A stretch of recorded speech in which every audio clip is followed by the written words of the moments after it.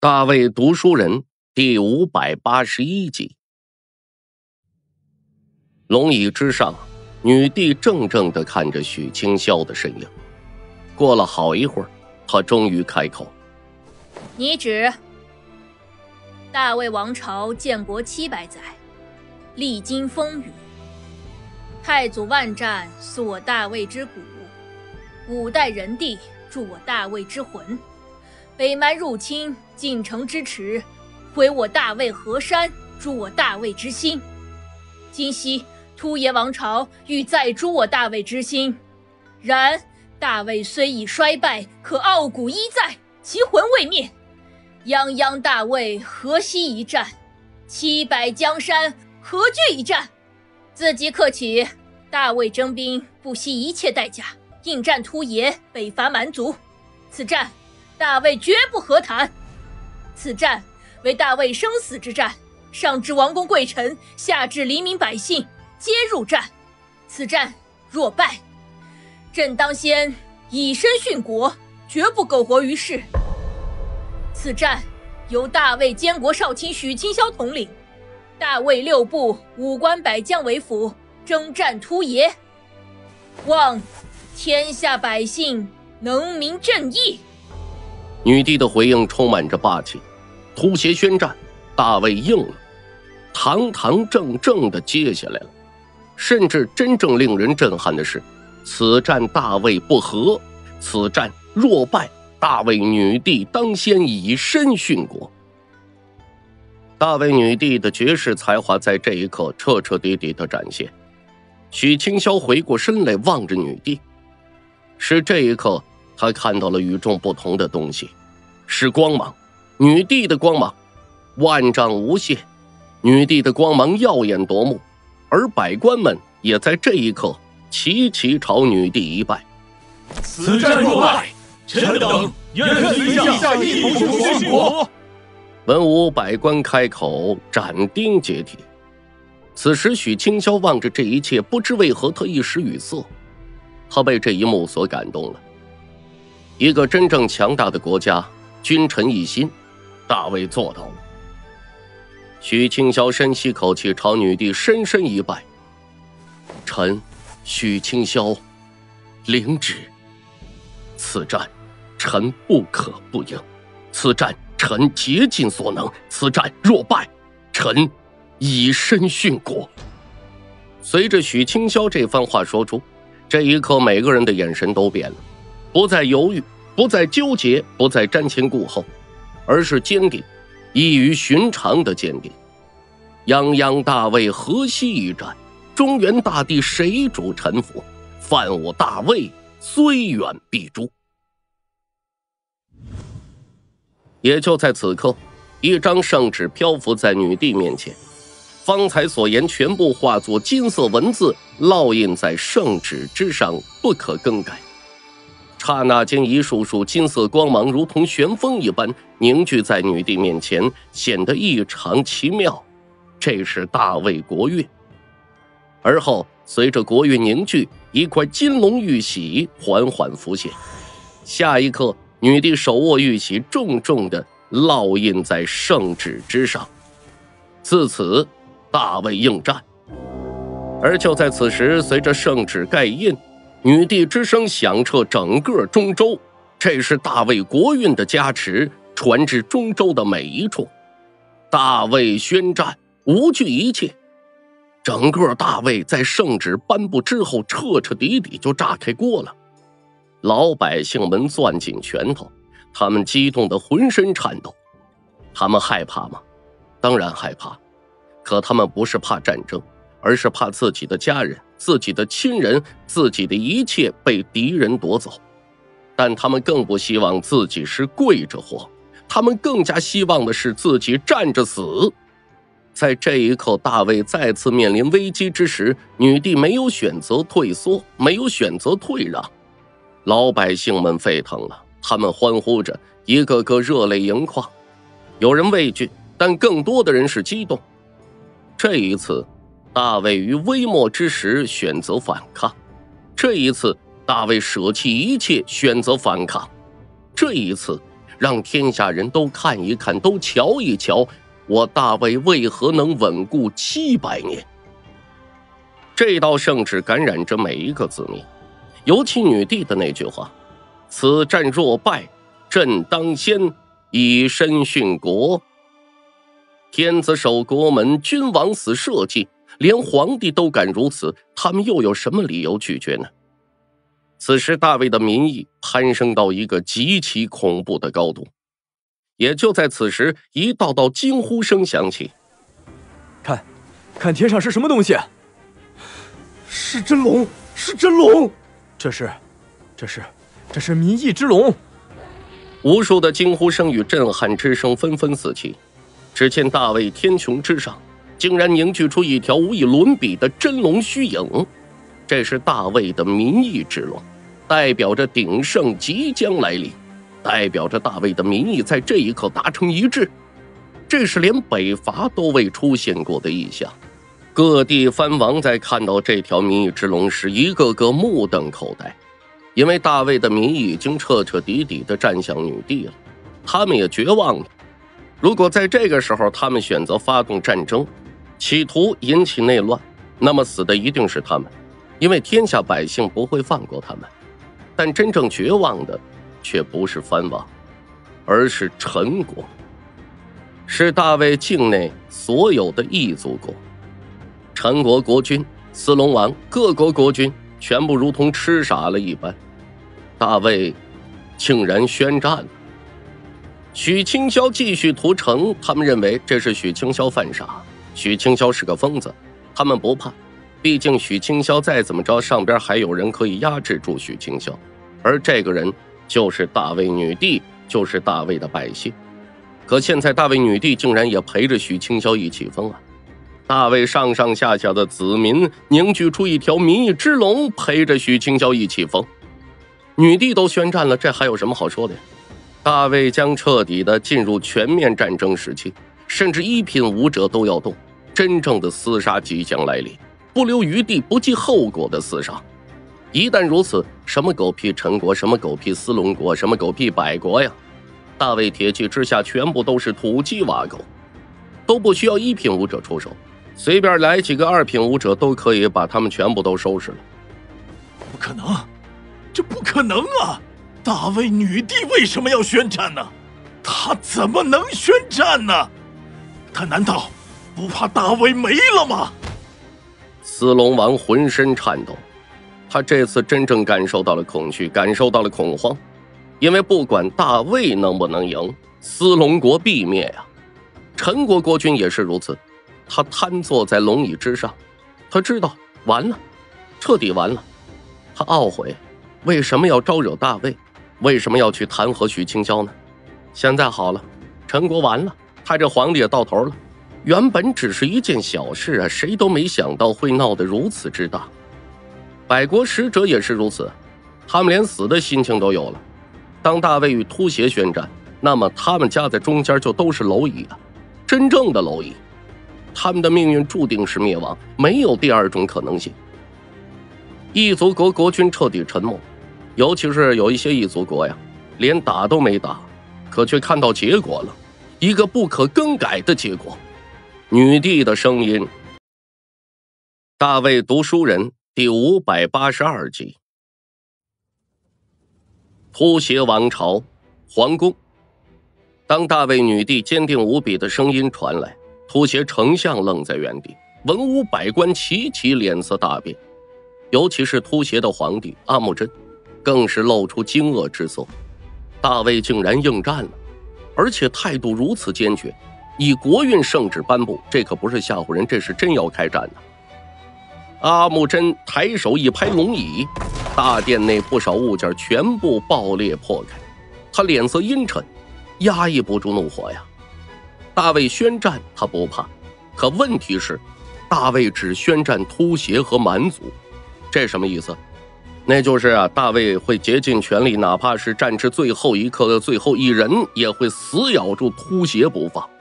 而这么做的代价就是，初元王朝顺势崛起，白捡个大便宜啊！他气呀，他气的不是宣战，气的是为何自己失心疯了，先对大魏宣战？为何不是出元王朝对大魏宣战呢？原本他突厥王朝宣战大魏，是想要把大魏逼到绝境，逼到死胡同，可没想到大魏应战了，反倒是将了自己一军，把自己逼入绝境了。其最主要的原因，大魏女帝以国运圣旨宣战，而不是一封普通的圣旨。如果是普通圣旨，他可能还不怕，那只是大魏试探性的、嘴硬的宣战，可能啊打个一回合，大魏王朝怂了，老老实实割地赔款。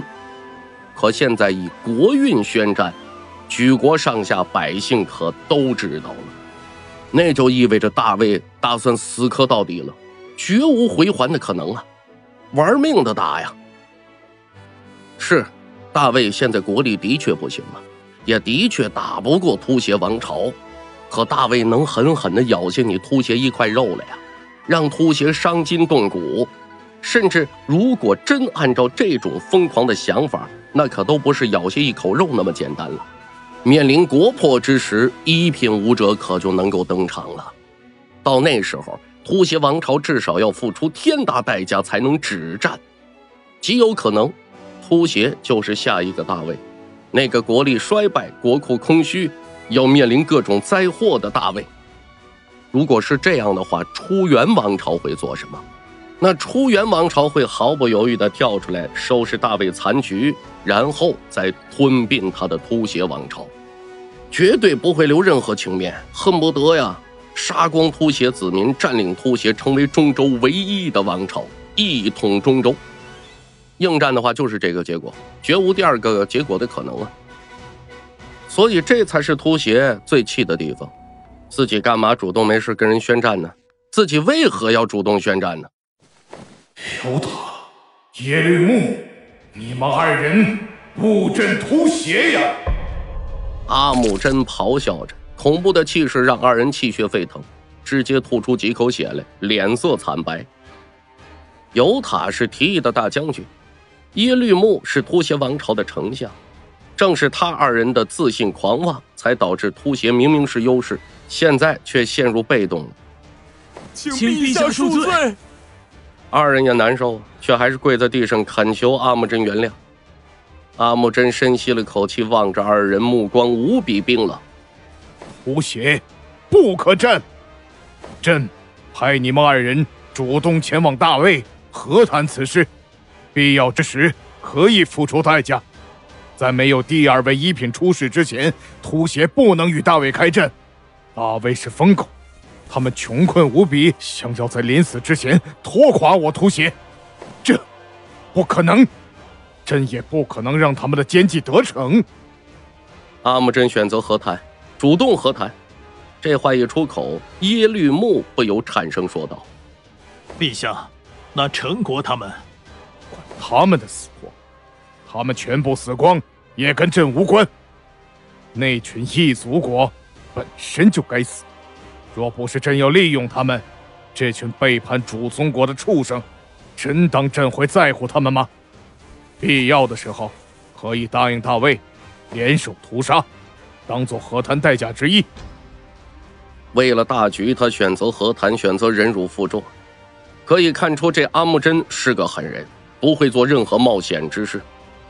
而大殿内所有人都知道了三件事：许清霄是真猛啊！大魏赢了，大获全胜，异族国吃好喝好，洗洗睡吧。大魏的突然宣战，可谓让天下人着实惊讶了一把。没人想到，面对突厥王朝的宣战，大卫竟然敢应战，而且还这般的不要命。当民意之龙在大卫腾空而起，恐怖的民意可攀登到极致，老百姓们在这一刻真正的团结一致，抵御外敌。九位国公、诸位列侯开始下城领兵，各个部门飞快运转，响应朝廷宣战呢。这一日，大卫苏醒了，让世人忽然想起来，大魏可不是小国，那是个王朝啊，是个七百年的不朽王朝。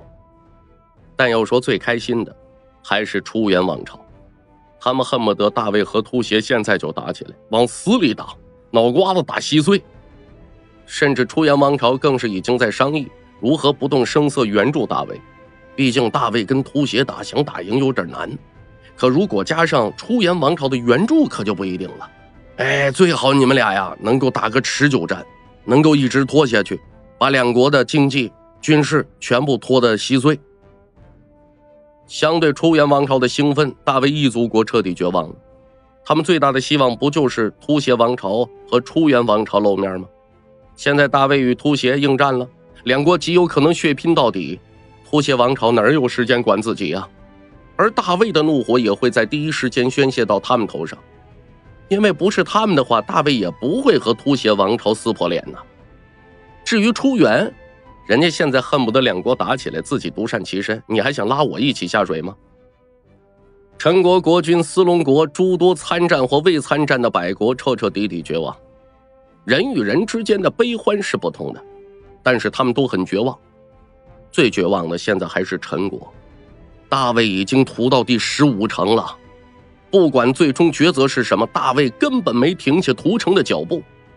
陈国老百姓也彻底绝望了，他们从一开始的嚣张狂妄、上下一心，到现在彻底民心溃散，大骂陈国国君无能，大骂陈国将士怯懦，以至于他们白白送死，铺天盖地的骂声啊！投降！投降！我陈国投降！不要再杀了！不要再杀了！终于在压力之下，陈国国君无比艰难的选择了投降。陈国投了，在陈国负隅顽抗一日之下，终于选择了投降。而大魏军却传来无以伦比的庆祝兴奋。射阳侯听说陈国投了，并没喜悦。而是要求陈国国君将剩下所有府城大门全部打开，否则不视为降。陈国国君还想派人谈条件呢，但遭到直接的回绝，因为你陈国没资格跟我谈条件。得知对方态度，陈国国君知道已经无力回天了，他拟了道圣旨，大开所有城门。当下仅用半天时间，五百万大军将陈国所有主城全部控制。不过，对方投降，他也没有再添屠戮。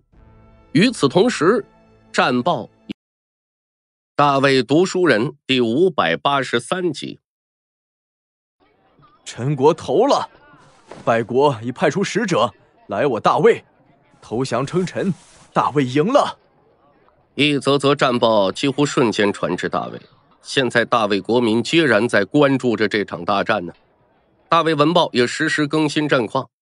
陈国投降百国的态度瞬间传至大魏的每个角落，这是振奋大魏国民的消息，自然刻不容缓。文华殿内，一封封天旨传来，文武百官皆然无比激动。陈国投了，好，他们总算投了。不止如此，异族国也纷纷派来使者投降和谈。这一战。我等赢了。就在此时，另外一道声音响起，是赵婉儿。徐大人，陛下口谕：突厥王朝派突厥丞相耶律木与大将军尤塔赶往大魏，愿意和谈此事，请徐大人做好准备，对接此事。这一刻，大殿内众人彻底惊呆了。突厥王朝主动和谈，虽然许清霄之前说过。大魏死战，突厥王朝必不敢应战。没想到突厥这么快就怂了。如若说陈国投降是一件喜事，可这突厥王朝若和谈，可不是喜事这么简单了。原本突厥王朝对大魏宣战，若是按照他们的想法，大魏撤军或先主动啊和谈，那么其结果就如许清霄之前说的差不多，大魏最终被迫退军。紧接着，突厥王朝拿陈国之事弹劾大魏，最终的结果，大魏啊割地赔款，极有可能异族国照样还会脱离。而大卫除了避免和突厥王朝开战之外，其余什么好处都没有了。可现在突厥王朝主动过来和谈，那大卫可就变被动为主动了，因为突厥王朝不想打呀，明摆着是不想让出元王朝占便宜，自然而然，突厥王朝就不敢再提出各种要求。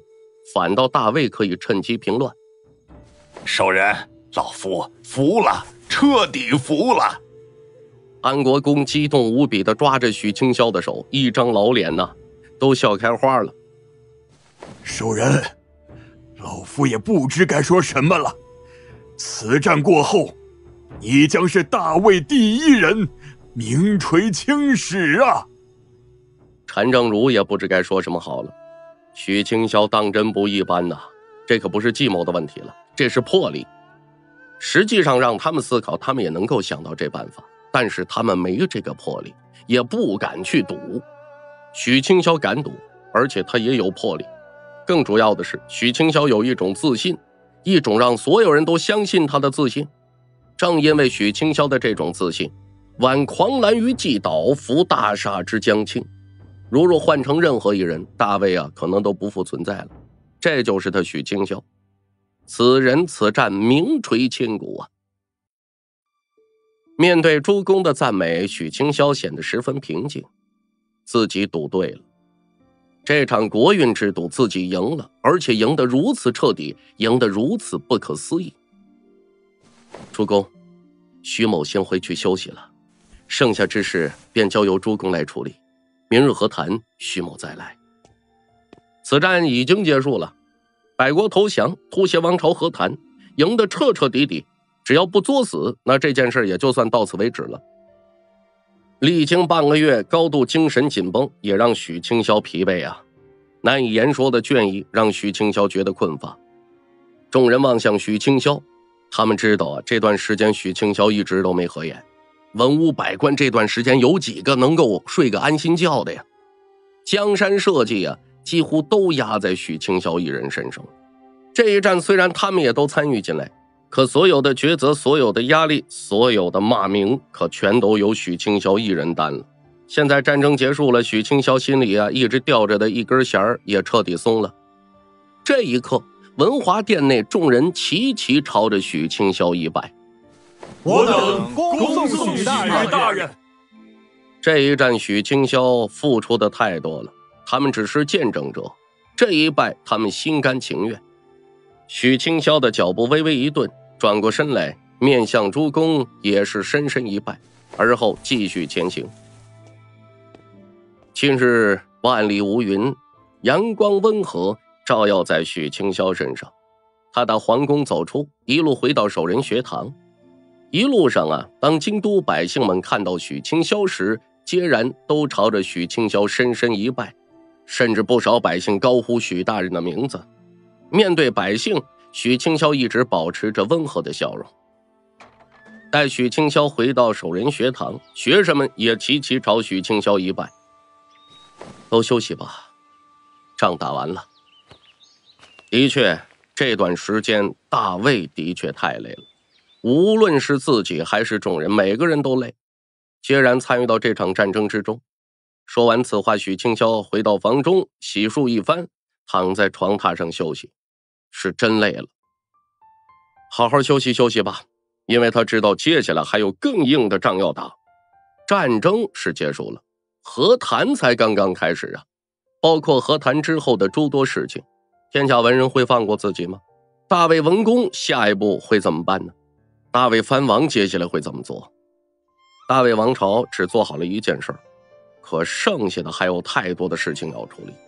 想要说后半生咸鱼，还得努力吧。带着倦意，许清霄昏昏沉沉的睡着了。而此时的大魏还在不停的发生着很多事情，各地藩王出使商谈，突厥王朝的使者到了大魏了，乘坐突厥龙舟以最快速度赶来。不希望啊，事情进一步恶化。异族国各国国君纷纷派来使者前来启降。大卫兵部、户部核算这次战争的伤亡及战利品。九位国公第一时间下达军令，分别控制诸国，不管和谈结果如何，先派兵入驻再说。眼下的异族国已经没有任何资格和大卫谈判，摆在他们面前的只有两个选择：要么死，要么把城门打开，让大卫军驻军。陈国国君于深夜被陈国异姓王斩首，背后的原因，天下人自然明白。此番起降，陈国国君必死无疑。与其遭受各种羞辱而死，倒不如让个异姓王出手，也算是有个交代，还能换陈国百姓一条活路。不得不说，这陈国国君呢还是有点气节。但其余附属国可不一样，该怂还是怂，派来使者启降，期盼能有条活路。到最后，礼部啊颁布圣旨，要求大卫所有异族国派使者前来大卫，以最快速度，不可耽误。不管你是参战了还是没参战，不管你弹劾过许清霄还是没弹劾过，所有异族国必须在规定的时间之内派遣使者前来。大卫读书人第五百八十四集。大卫异族各国皆然意识到一件事情：大卫这回真要动刀子了。有些异族国没有参与此战，也没有参与弹劾许清霄，想要观望。这可不代表他们忠于大魏。现在大魏赢了，他们想要独善其身那是不可能的。说来说去还是啊，谁的拳头大，谁说话算话。不过任凭他大魏民意如龙，然而对于天下读书人来说，他们可不在乎这个。许清霄屠城之事，违背天理，违背人道，也违背儒道，违背圣人之道。这一点，读书人可没忘。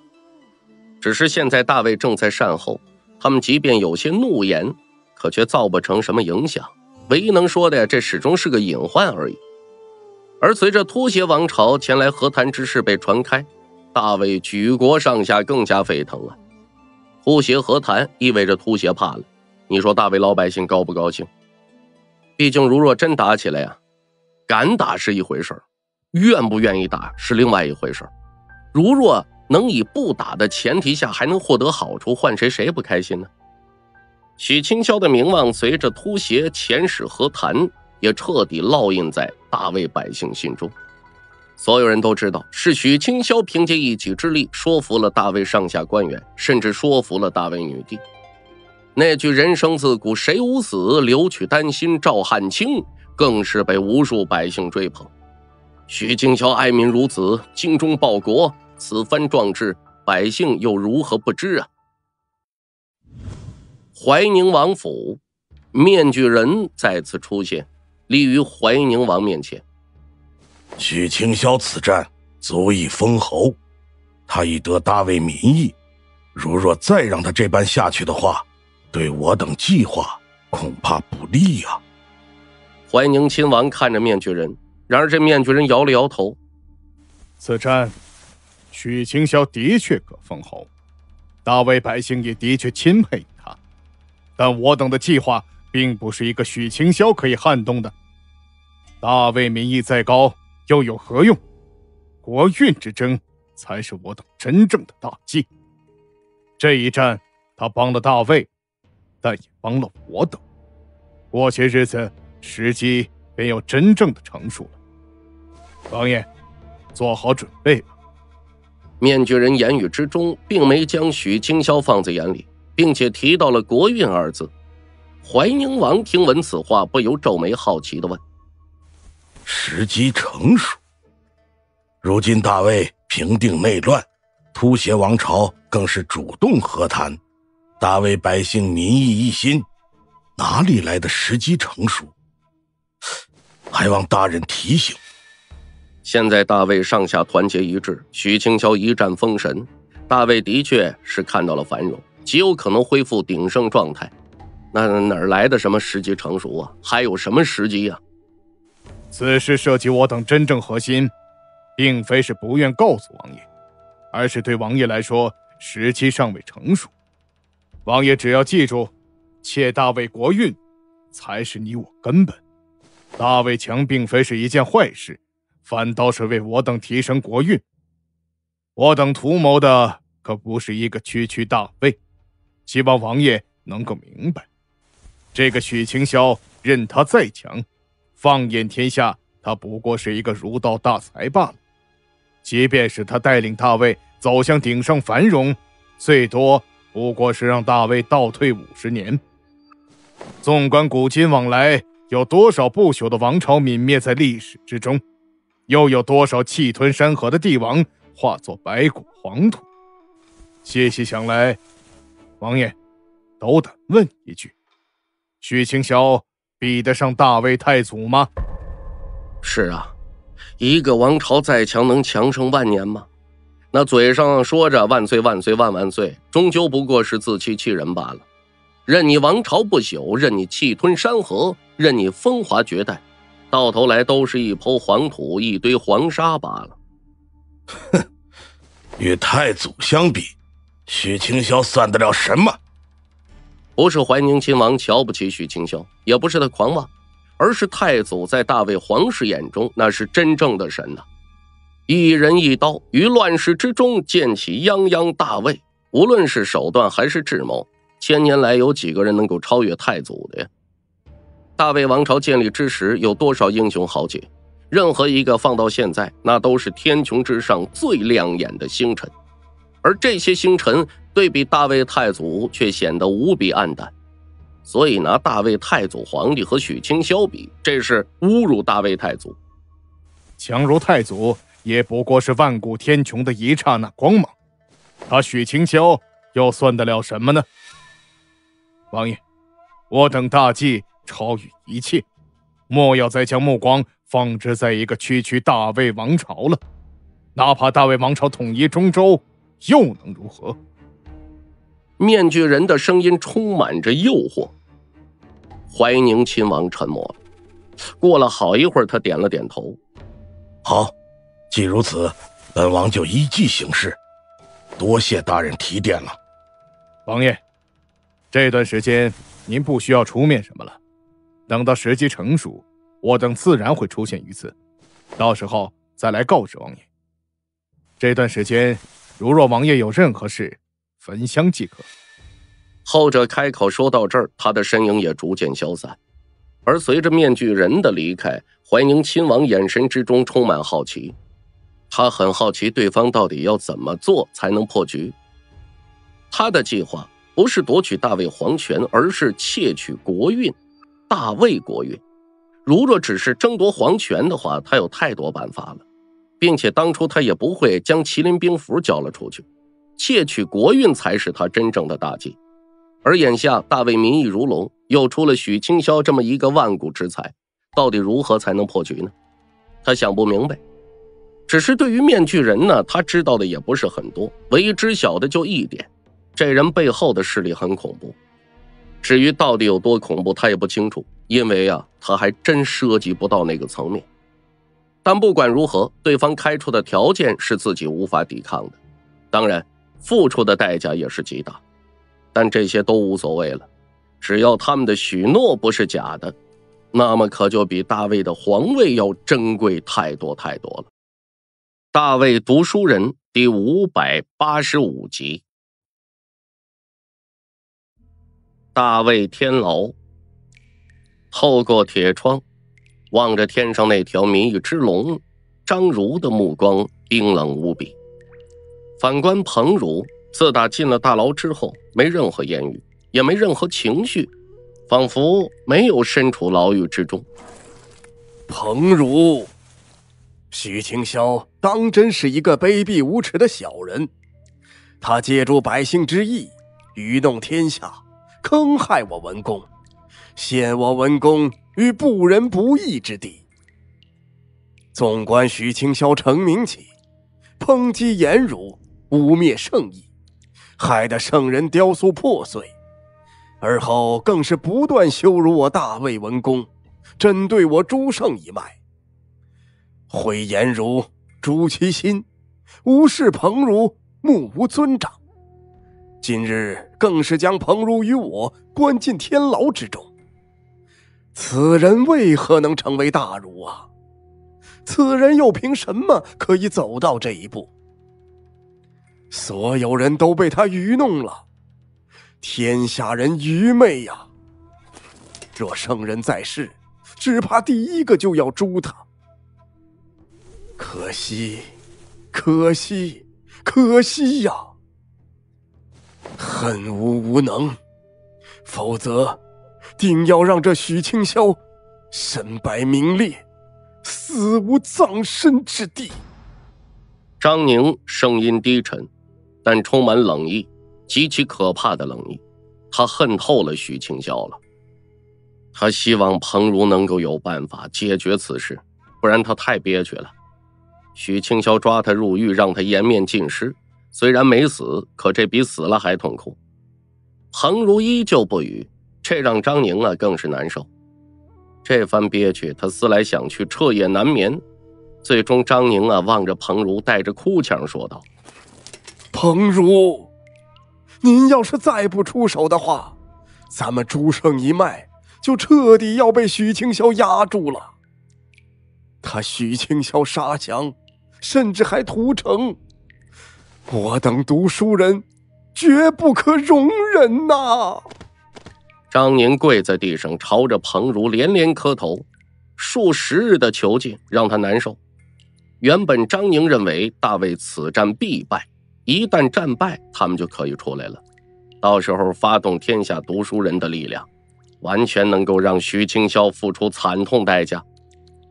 可现在随着各种战报传来，那是有人故意说给他们听的，就是为了恶心他们。所以张宁知道许清霄赢了。他们坐牢纯属是真正找虐，他们看不到任何一点希望了。张宁气不过呀，突袭王朝宣战，他激动了许久，都到这份上了，大卫必然选择退让。可他没想到，大卫竟然应战了。应战他也不怕，毕竟大卫应战也就是嘴硬吧，却不曾想到突厥派人来和谈了，这超乎他的想象了。而许清霄的威望也彻底抵达了一个前所未有的高度，这让他无比难受啊！他现在都恨不得生吞活剥了许清霄。此局已成死局，我等败了。彭如终于开口了，可这句话却让张宁彻底绝望。已成死局，文公败了吗？他不能接受。彭如，一定有办法的。一定有办法的，我堂堂文公怎可能对付不了一个许清霄啊？彭如，您一定能想出办法的。张宁气急攻心呐，他望着彭如，一位天地大儒，你怎么可能没办法呀？彭如却没理会张宁，而是将目光望向了铁窗外，他沉默不语。张宁更加绝望。他坐在那儿，眼中满是屈辱和绝望啊。大概就这么过去了小一个时辰，彭如开口了：“其实也不是没有办法，只是老夫不想走到这一步，而且你一定不会答应。”彭如的语气平静，张宁无神的目光顿时却闪烁着光芒。他望向彭如，眼神无比好奇和激动，还望彭如直言。罢了，罢了，不说吧，不说吧。此法虽可以让许清霄身败名裂，甚至死无葬身之地，可牺牲太大，老夫不说。算了吧，我等已经持续大魏文公五百年的辉煌，即便是现在没落了，这也是天理自然。欲擒故纵，拿捏的极其精准，这让张宁内心如万蚁噬咬，根本无法冷静啊！彭如，您说即可，某必然答应。只要能让这许清霄自食恶果，某不惜一切代价。彭如长长的叹了口气，他望着张宁，目光无比平静的问道：“你？”当真愿意付出一切代价？张宁闻言微微一愣，但很快他朝着彭如连连磕头，语气无比坚定：“愿。”此时，大魏皇宫，礼部尚书站在女帝面前：“朕欲册封许爱卿为大魏公爵，不知王爱卿意下如何？”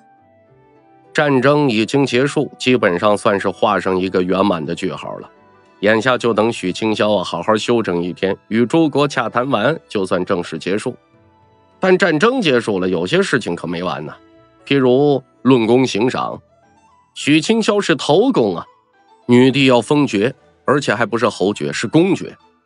礼部尚书王新志随即就一愣，随后苦笑不已：“陛下。”守人之功当属第一，不说前无古人，但至少武昌年间，只怕无人能盖过他之风头。只是公爵还是略显夸张，倒不是守人不配，而是他年龄在此。大魏自古以来最年轻的公爵也有六十余岁，守人封个侯爵已经足够了。等许大人四十五岁之时，再提升公爵，完全没有任何问题。再者，如若守人封侯爵，也是大魏最年轻的侯爷。王新志理解女帝的心情。实际上，许清霄封他个公爵不算什么，这样的战绩，封个王都没问题。平乱一族国，这是守国之君最大的梦想，剩下的可就是开疆拓土了。许清霄解决了内部最大的问题，此战过后，至少百年内异族国再也不敢叫嚣。以后那可就是真正的朝贡，让他们做什么，他们就得做什么。所以封王没问题。但年龄上，这许清霄才二十岁呀，这是朝纲可不可乱。倒不是大家不同意，相反是因为大家都同意才会。大卫读书人第五百八十六集，许清霄配得上公爵，也配得上王号，但问题来了，武昌年间，许清霄二十岁封公。那下一个年间会不会有人十八岁封公啊？而且如若遇到奸臣请求封公，你是给还是不给？毕竟前朝有了个二十岁公爵，今朝来个十八岁的不过分吧？至于比不比得上许清霄，那就看对方脸皮厚不厚了。江山社稷有很多规矩，不是天生的规矩，但是是大家默认的规矩。侯爵呀，就足够了。甚至侯爵都足以让天下震惊。等许清霄啊到了四十来岁，再封他个公爵，这样就完全没问题了。当然了，如果许清霄又做出什么旷古烁今之事来，马上封公，啊不对，马上封王。礼部尚书王新志继续开口：“陛下，其实对守人来说，封公还是封侯，其实都是一样的，无非是虚名罢了。”眼下陛下考虑的事情不应当是爵位，而是职位了。封公爵还是封侯爵，无非是虚名罢了。眼下最主要的是许清霄的职位，监国少卿固然不错，可问题是六部尚书你总得给一个吧？而六部当中，给哪个职位，那需要女帝得好好琢磨琢磨了。毕竟职位你只能给一个呀。嗯，朕知道了。女帝点头，这的确是当务之急。给了侯位职务，你也得提升，肯定是得给尚书了。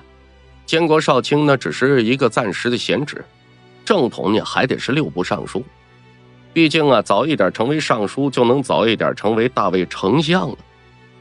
行吧，就赐许爱卿侯位。不过四十五岁太晚了，再等十年，加封公爵。至于名号。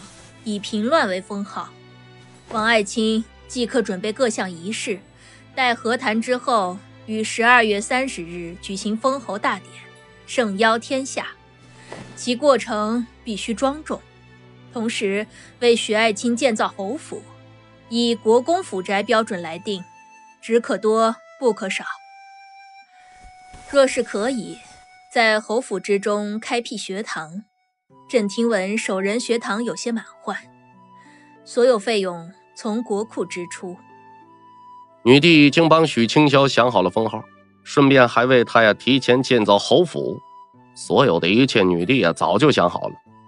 但最让王新志震惊的是封号平乱侯。平乱二字意义很大，不弱于镇国安国了。但想想许清霄也配得上这封号。臣领旨。王新之一拜，随后又开口了：“陛下，突厥王朝使臣已经抵达大魏国都，所有异族国使臣陆陆续续也赶来大魏国都，是否去提醒许大人一番？”不用，让他们候着。即便是秃爷皇帝来了，也让他们候着。许爱卿要好好休息一番了。女帝不在意，在她眼中，这些人呢不配惊扰许清霄。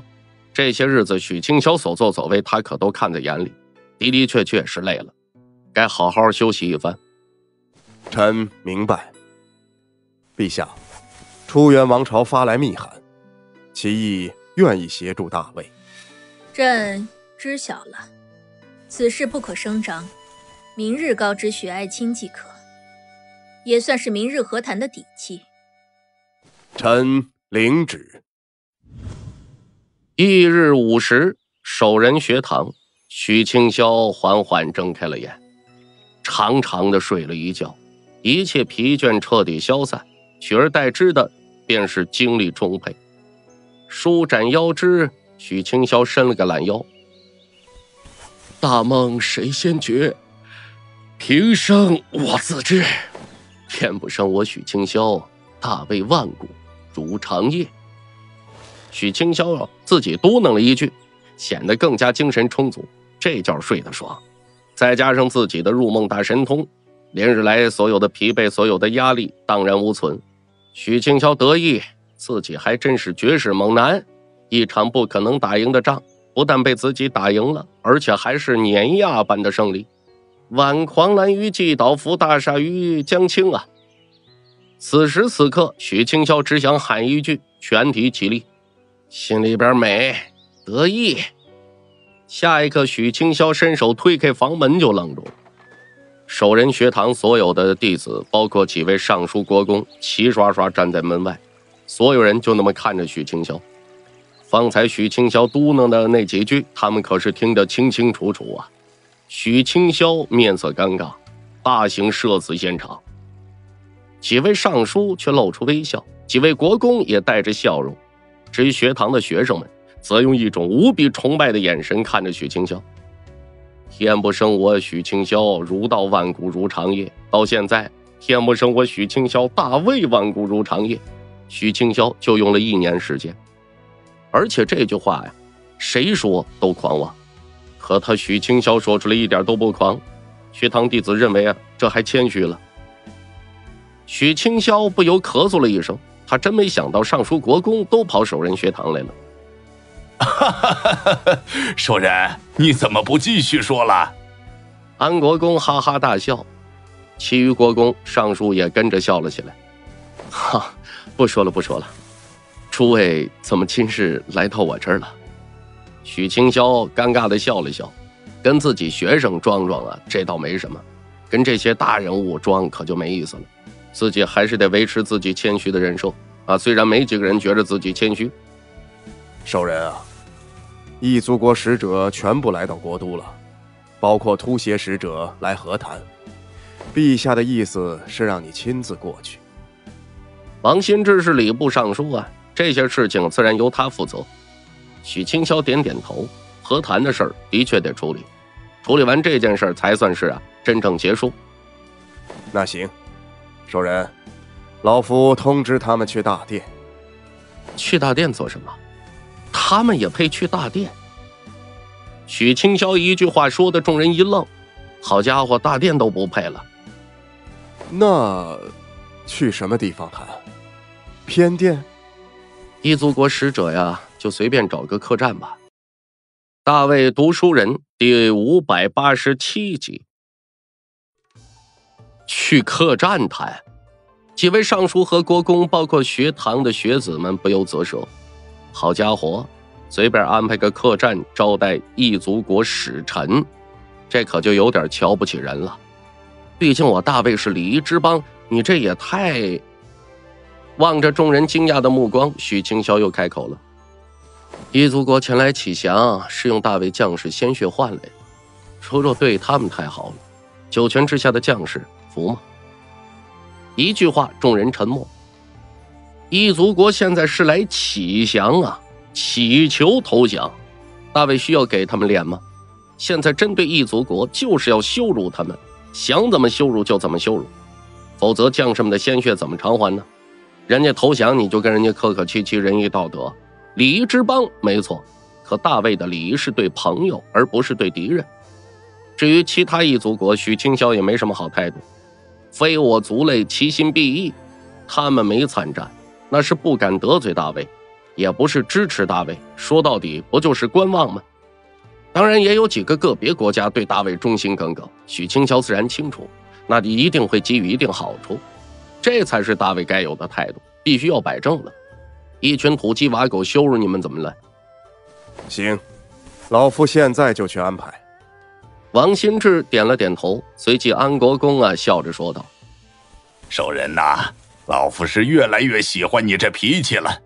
好，等这次和谈过后，去老夫府上，不喝个三天三夜，别想走。”其他国公也跟着哈哈大笑，那对许清霄好感倍增，这才是大卫的骨气。使者怎么了？让你去客栈就老是去客栈，不去不去就杀吗？真当我大卫是泥菩萨了？那偷袭使者也一并安排？王新志又问。那倒不用。许清霄摇了摇头。王新志当下松了口气。可下一刻，许清霄的话让他又是一愣。给他们呢安排个雅间儿，突邪使臣还是要区别对待。就这安排个雅间儿？还真是只有取错的名字，没有叫错的外号啊！很快，大卫礼部派人通知各国来使，听到许清霄将会谈地点选到客栈，来使们一个个气急败坏啊！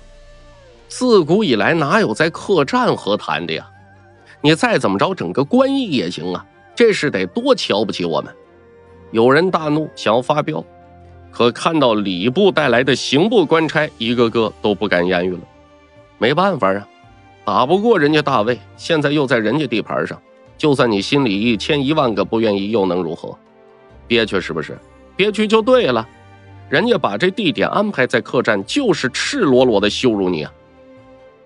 随着礼部通知下达，基本上不给各国来使一点面子，就跟赶鸭子似的，把他们都撵去客栈了。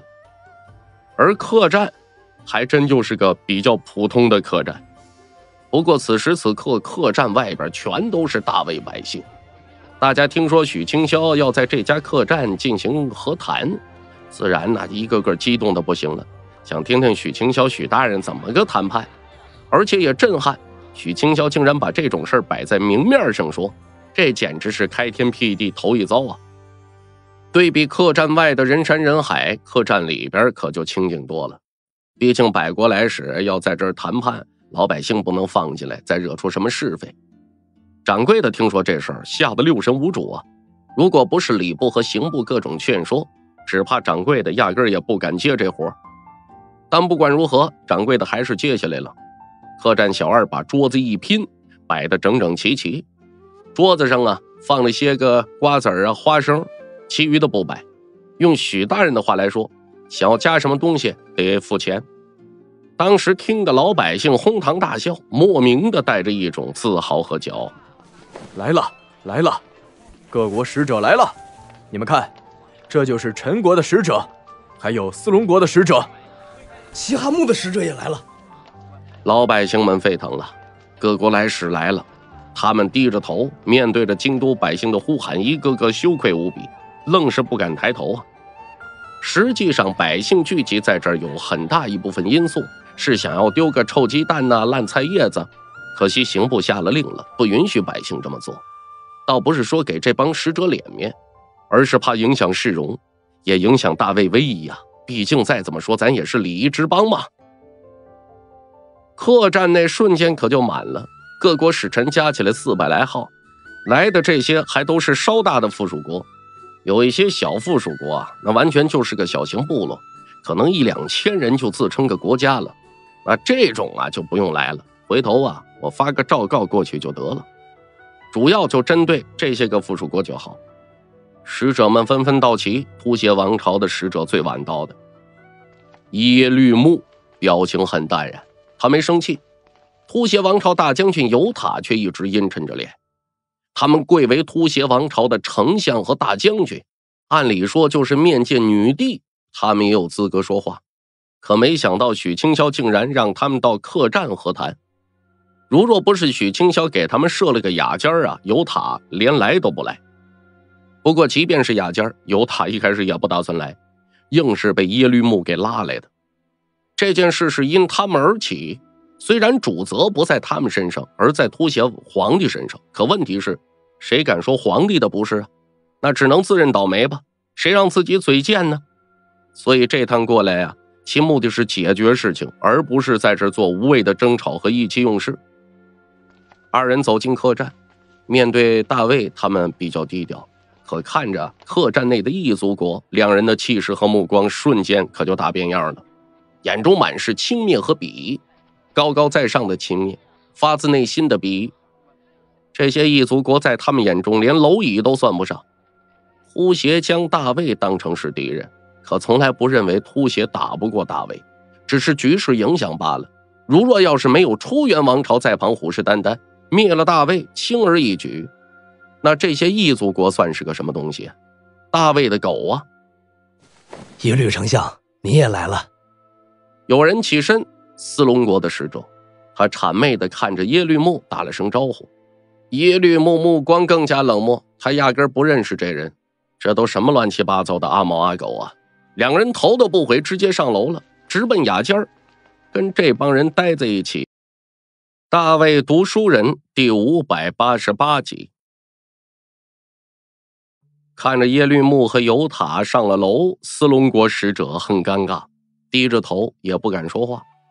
而就在此时，客栈外响起一阵喧哗：“许大人来了！快让开，快让开！许大人来了！”客栈外边一时间人声鼎沸，即便客栈内诸国使者也不由纷纷朝外望去。不远处，许清霄缓缓走来，身后跟着吏部尚书陈正如、礼部尚书王新志、兵部尚书张敬、户部尚书顾炎，包括安国公、卢国公。而他们身后，则跟着数百位精兵，一个个杀气腾腾。带兵谈判，一国使者有点懵啊，这什么意思？那许清霄这意思就是谈得拢一切好说，谈不拢就别走了。许大人威武！许大人要好好惩戒这些异族国呀！哎呀，你们快让开，别挡了许大人的路！老百姓们无比激动啊！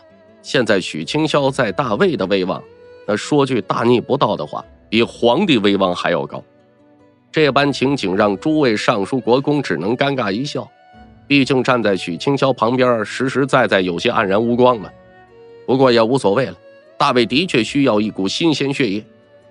面对老百姓，许清霄啊拱了拱手：“各位，待会儿本官在内谈判，大家莫要发出太大动静，免得人家说我们大卫不知礼数。”许清霄笑呵呵的让老百姓啊待会儿安静点啊，可别吵吵。顿时周围一片哄笑声。很快，许清霄步入客栈。客栈老板亲自走过来，朝许清霄诸位尚书国公恭恭敬敬一拜：“掌柜的客气了，借用你们店铺所花费的银两，回头朝廷会支银子来。不过记住了，这些番邦来使吃的喝的呀，让他们自己付钱，这账可不能算到朝廷上。”这话一出口，外边的老百姓又是一片哄笑。许清霄做事很符合百姓口味啊，哎，就是要斤斤计较。这帮异族番邦就是以前太惯着他们了。许大人放心，小的明白。掌柜的讪笑一声，许清霄瞥了眼诸国使者，随后望向陈正如等人：“诸位，我们先上去跟突厥使臣谈吧。”行，你做主就好。陛下让你抉择，我等听你的。陛下有旨，让许清霄负责谈判，他们就是过来镇镇场子。任何抉择，许清霄做吧。许清霄没废话，直接朝楼上走去。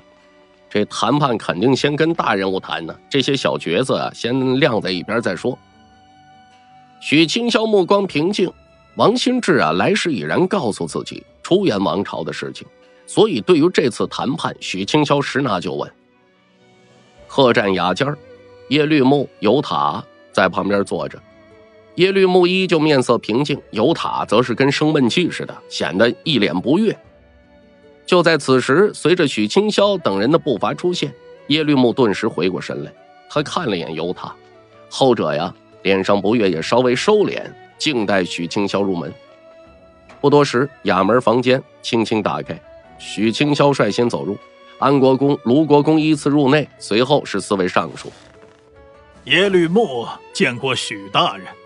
见过两位国公，也见过诸位尚书。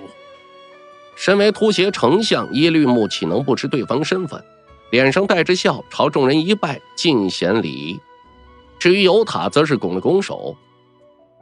徐某见过耶律丞相，见过尤塔大将军。哎呀，实在是没办法，大卫呢就是这个条件，国库也没银子，只能安排在这种地方见面。二位不会生气吧？许清霄笑了笑，回了一礼。尤塔的心情却更加复杂了。你撒谎能不能别这么直接呀？大卫再穷也不至于安排个酒楼啊！你们有礼部啊，那不有官意呢吗？只是他也没多说，来都来了。至于耶律木，反倒笑呵呵说了一句：“啊，没有没有，这样也挺好的，至少安静。诸位快快入座，我让人上点好酒好菜。”耶律木啊，笑着招待许清霄等人，这不知道以为啊这是突袭呢。许清霄一脸的难过。耶律丞相，酒菜就算了，毕竟国库空虚。这表情落在尤塔眼中极其令人不爽，但他还不能说什么。哈哈哈，无妨无妨，此番过来，陛下给了我一些银子，酒菜钱还是付得起的。耶律木很是沉得住气。那行，既然如此，徐某也不讲究了。小二啊。去桃花庵一趟，让他们人备上等佳肴，不计价格，耶律丞相付钱，拿最好的来，就说是我徐某的意思。既然对方执意要请客，许清霄也不客气了，直接让店小二跑趟桃花庵。这顿操作让几位尚书国公都愣了。好家伙，请人家来这种地方吃饭也就算了，让人家请客，然后你上别的酒楼点菜，要说骚还是你许清霄骚啊，好手段。陈正如等人也不觉着什么，缓缓坐下。反正这次他们过来就是陪衬。耶律木还是很能沉得住气。说难听的，就饭菜这点银子能有多少？一千两够不够？不够，我给你五千。你不会认为我个突厥丞相都付不起这点银子吧？招呼许清霄等人落座，这突厥丞相直接开门见山：“许大人，是这样的，前些日子……”突厥宣战大魏，其实啊是受了陈国蒙骗，而我等也没有调查清楚，所以才导致弄得如此僵硬。我突厥圣上已经调查清楚了前因后果，此事啊大魏没有错，而突厥与大魏也算是交好，陛下不希望两国因为小人的挑拨而影响关系，所以。此番宣战可否到此结束啊？啊，当然，为表诚意，突厥王朝愿意协助大魏震慑这些宵小之辈，也算是还大魏一个安宁。耶律穆啊，也不拐弯抹角，愿意和谈。大魏读书人第五百八十九集，四位尚书和诸位国公听到耶律穆的话一说。不由心中暗喜呀，他们倒不是在乎突厥王朝派兵协助，真正在乎的是突厥王朝的态度。原本这些异族国都看着突厥王朝，现在突厥王朝翻脸不认人了，这帮异族国肯定记恨他们呢。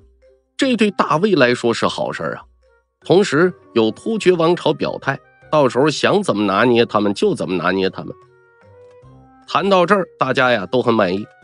可许清霄却摇了摇头：“不不不不，宣战之事岂能说改就改？徐某知道大魏王朝的国力的确不如突厥，可我大魏既然宣战，绝不可能就这般算了呀。否则的话，大魏的宣战岂不成了儿戏，成了笑话？大魏的民意可是凝聚化龙，下一次可没这样的事情了。再者说，突厥王朝口口声声说被小人挑拨。”可徐某倒想要问问，如若下次又有小人挑拨我大魏如何如何，突厥王朝会不会再次宣战呢？这番话说的众人一愣，没想到许清霄竟然还这么咄咄逼人。看这架势，许清霄可不是来跟突厥王朝和谈的。这是明摆着跟突厥王朝索要好处了。这他娘的！四位尚书、两位国公有些心惊肉跳。许清霄是真虎啊！可你们的的确确屠城了呀！尤塔大将军忍不住了，他冷眼看着许清霄。许清霄一拍桌子：“那北蛮屠戮大魏子民之时，你突厥王朝为何不站出来？你们突厥王朝为何没有指责蛮族呢？为何没有宣战蛮族呢？在这儿跟我放屁！”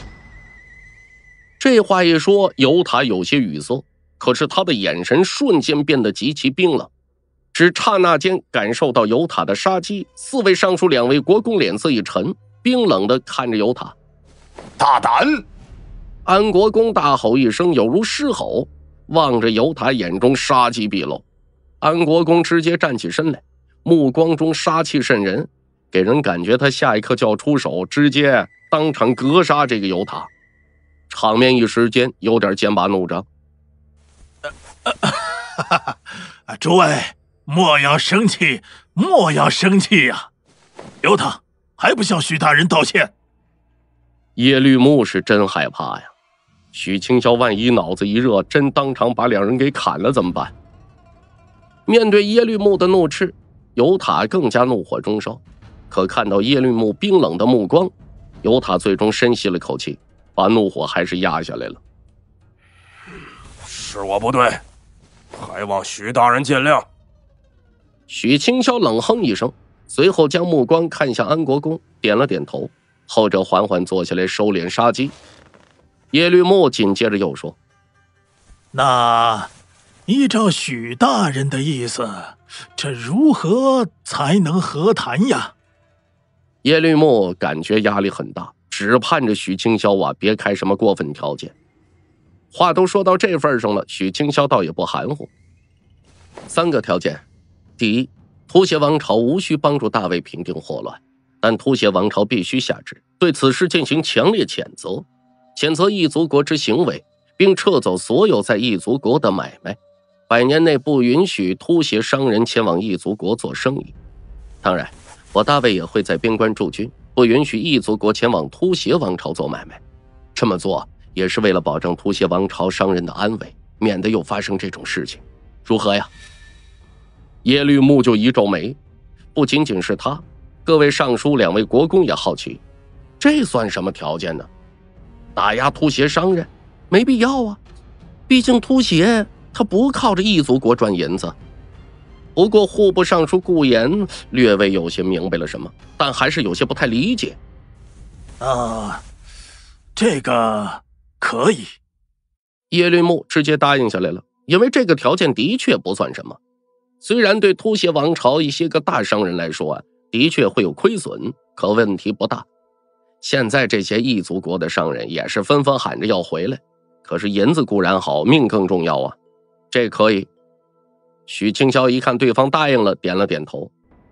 他这个条件可不是表面看起来这么简单，他是想要一劳永逸，彻底解决各大异族国叛乱的问题。只要突厥商人一撤，许清霄立马安插大量的大魏商人，控制异族国所有百姓的吃喝拉撒。如此一来的话，再发生类似的事情，打之前我直接断你粮、断你水、断你资源。那都不需要攻城，直接围住你的城，我看你还能挺多久？而且你一旦呢私下里胆敢囤粮，这些商人第一时间就能察觉到吧，马上汇报给大卫，立刻派人来查，发现有囤粮现象，抓住你国军，问清楚你们这是打算要干嘛？囤这么多粮食你要干嘛？许清霄紧接着说出第二个条件：第二，既然这次是个误会。大魏王朝与突厥王朝，那就继续保持交好。所以徐某希望突厥王朝成立朝廷商会，与我大魏交好，双方彼此贸易，并且相互保持长久的贸易。突厥王朝给予他们什么优待好处，大魏也给予同等的优待好处。这样一来的话，也算是友好的见证，大魏百姓也不会太过生气。否则，徐某可不敢保证老百姓会不会平息怒火呀。互市贸易，各自成立朝廷商会，这条件一说出来，耶律穆眼前一亮。这是好事儿啊！虽然大魏啊国力衰败，可大魏终究是大魏，彼此商人相互往来经商，促进经济发展，这有多大好处？耶律穆作为丞相，不可能不知道，所以这不算是吃亏，这是件好事儿。大家相互间坦诚相待，一起赚钱，这的确是件好事儿。耶律穆当场答应了，此事可以。许清霄点了点头。开启这互市贸易，许清霄算是给突厥王朝挖了个大坑。啊，还有出元王朝，进出口经济贸易这里边猫腻有多大，也就只有许清霄知道吧。再者，只要双方成立朝廷商会，那么就算是一个国家贸易局的雏形了。一旦形成，商人们便无孔不入，而自己也可以趁机搞事。天价郁金香的故事，许清霄可是记得清清楚楚啊。第三，这次大魏平乱，伤亡高达二十一万，对我大魏来说，这是无法承受的伤痛，所以希望突厥王朝能以盟友国的身份，援助大魏一些银两、粮草上的资助，不知可否啊？第三个条件简单多了，也没挖坑，直接伸手朝突厥王朝要钱，不过不是赔偿，换了个词儿，资助。这就好像是长久没联系的两个朋友，突然来一句：“兄弟在吗？借点钱，最近手头太紧了。等你以后，你要是有难了，我也帮你。”一样的道理啊。耶律穆皱了皱眉，他望着许清霄开口问：“许大人呐，需要资助多少？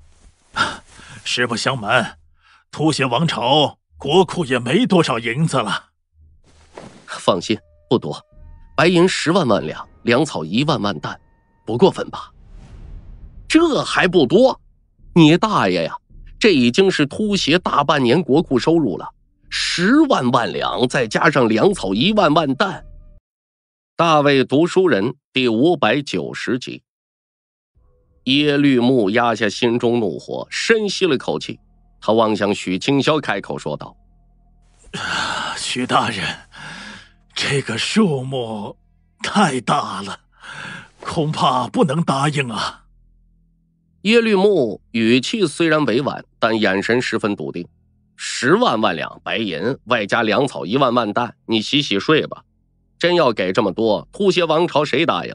宁可一战呢？关键这件事本来跟突厥就没什么关系啊，我们什么都没干，然后让我们拿出这么多钱，这么多粮草。之前资助百国的也资助不少了。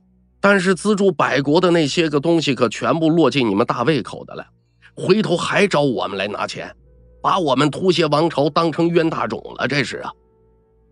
听到这话，许清霄微微皱眉，不过他没有太过于强硬。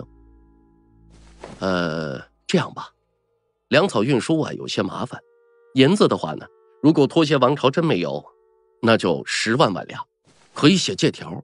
一旦等大魏王朝啊发展起来有钱了，保证归还。这国家的信用你不可能不信吧？再少可就不行了。耶律穆叹了口气，他又不蠢，还国家信用，指不定两国哪天就打起来，这银子肯定是肉包子打狗，有去无回。一万万两吧，突厥拿不出那么多啊，许大人。既然贵国不愿意和谈，那徐某啊也不当这个和事佬了。耶律丞相，徐某告退，您一路走好。许清霄直接站起来了。十万万两对突厥王朝来说绝对不算多，他许清霄就不信突厥王朝缺这十万万两。对于突厥王朝来说，银子的作用性已经不大了，毕竟没什么项目可投啊，不像大魏现在到处都缺钱，所以这十万万两应当是突厥王朝的底线。许清霄拿捏的很准。多了，突厥王朝肯定不答应；少了，他不答应。许清霄一站起来，其余尚书国公也纷纷起身。一看这架势，耶律穆有些不高兴了：“许大人，何必如此？十万万两如此巨额，突厥凭什么给？哈哈，这次的确是突厥没有查清状况，有些冒犯。”可不代表突厥王朝就是害怕了大魏。真要战，吐血不去战。这一刻，耶律木也有些动怒。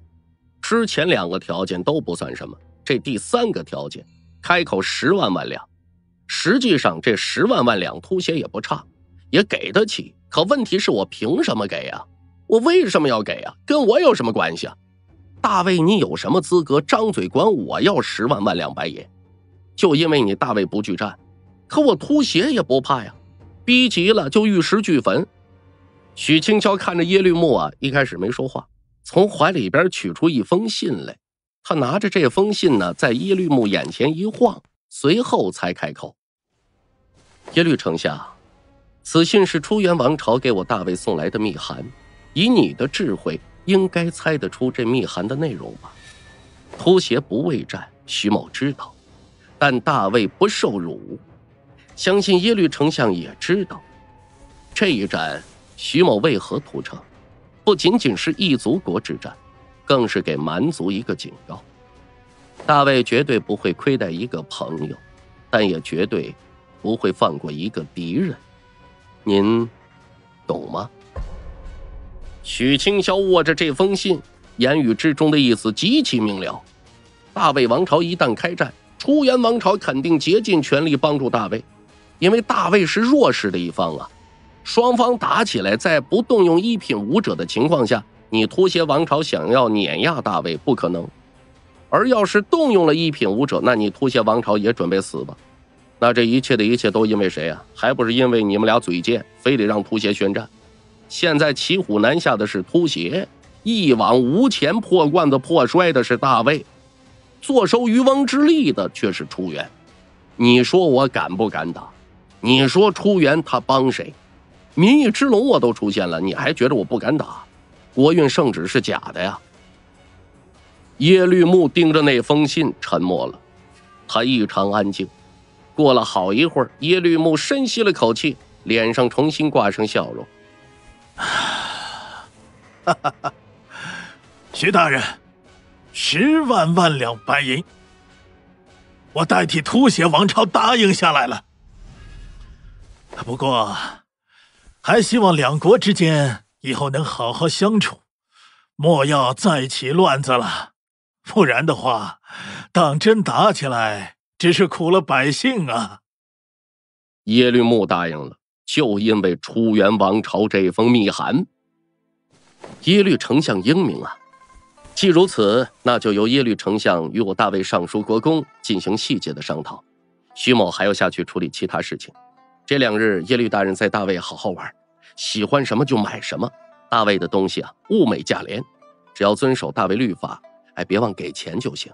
好，诸位大人，徐某先告退了。听到对方都答应了，许清霄满意点点头，没什么好说的了，转身就离开了雅间还得去对付楼下那帮异族国呢。这剩下的事情啊，交给陈正如、顾岩等人来处理就好了。望着离开的许清霄，众人有些沉默。不单单是耶律木和尤塔这两个突袭来使，就包括陈正如、顾岩，都被许清霄震撼了。陈正如等人死都没想到，许清霄逼着突邪答应给了十万万两白银。虽说是援助，但银子这东西一直在贬值啊，五十年或者一百年之后再还给他们，一点都不亏。更何况，万一那年打起来了，我直接撕毁，我还你个毛啊！还，所以这十万万两白银就是纯属白拿。徐清霄是真虎啊，硬要啊！至于耶律木，他震撼的是徐清霄的谈判手段，炉火纯青，死死拿捏他们的底线。十万万两的确有点多，但加上出元王朝那封密函，可就不同了。可是，在场之人只有王新志一人知道，哪儿他妈有什么密函呢？哪有密函呢？人家出元王朝再蠢，也不可能写封密函来，那可是派人过来就通知了一声。徐清霄啊，你真是礼部大才呀！要不我退位，你来当礼部尚书吧。与此同时，许清霄可到了楼下了。楼下四百多位异族国来使可等了小半个时辰。气氛呢有些压抑。当许清霄出现后，众人总算是松了口气。至于外边的老百姓，也十分激动起来。我等见过许大人，四百多人齐齐起身，朝许清霄一拜。坐。许清霄很直接，面容冷峻，让众人落座。当下四百来人坐回原位。可接下来许清霄的一番话，让这四百来。